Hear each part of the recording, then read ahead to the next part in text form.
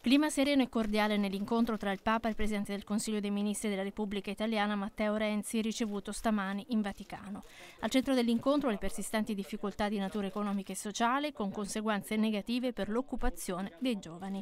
Sottolineata l'importanza di educare per promuovere il futuro delle nuove generazioni. Spazio poi anche all'attualità internazionale, con la grave preoccupazione, specialmente per il progressivo peggioramento dei conflitti nell'area medio orientale.